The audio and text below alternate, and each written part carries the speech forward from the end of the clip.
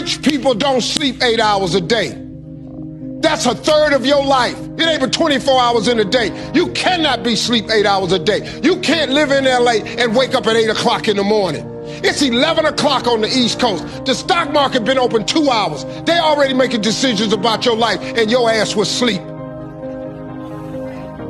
The Bible says, he who loves to sleep and the folding of hands, poverty will set upon you like a thief in the night. Guys, please, listen and listen good.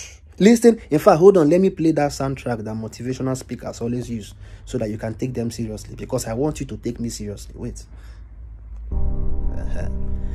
Please, if you see eight hours of sleep in the night to sleep, my brothers and sisters, please sleep. Oh, I'm begging you. Eight hours is not a long time to sleep. It's not everybody that want to be super rich in life. Some of us just want to be able to go and hustle in the daytime come back and feed our family make sure they have shelter and make sure they are healthy and in the night have a very decent sleep and prepare for our next working day don't let anybody tell you that if you have eight hours of sleep in the night you are going to be broke. There are people who actually sleep for 17 hours and they are doing okay in life. Eight hours is not a long time to sleep oh. Sleeping is a very integral part of our life to have a very healthy and a balanced lifestyle. There are people who would spend all their years not sleeping in the name of I want to be rich. And at age 50 or 60, one small thing will happen, they buy.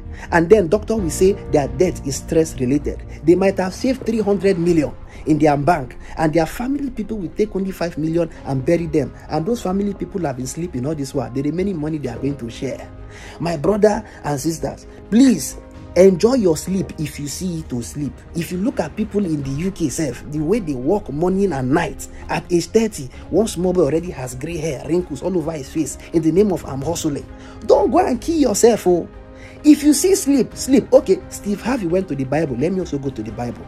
Our lord and personal savior jesus christ what was he doing? That time the boat was about to capsize that storm. The bible says he was asleep. They woke him up and he said peace be still and then he went back to sleep when there was peace. Sleeping is important even to God, though. When God created the first man, he needed a companion. And what did made what did God make the first man do? He made him sleep for woman to be created, meaning that women are key products of sleep. Sleep is important. It's not everybody that want to be super rich. Some people just want to enjoy small money, enjoy their life, have a very calm sleep in the night, wake up and continue like that. Don't make us feel bad because we are having normal sleep that God created for the night and said, My children, rest. You say, No, let us open our eye looking for stock. Who stock help? Stock, stock, stock. Did they tell you they don't do stock in Nigeria? Go and ask Nigerian women in the market, do they not stock fish? it depends on your definition of stock. Please enjoy your sleep. Don't let these rich people tell you not to sleep. Oh. Enjoy your what? Your sleep anyways it's afternoon here and in the afternoon i usually take about 45 to 50 minutes nap and in the night i will enjoy my normal eight hours. I'm still normal. Going and sleep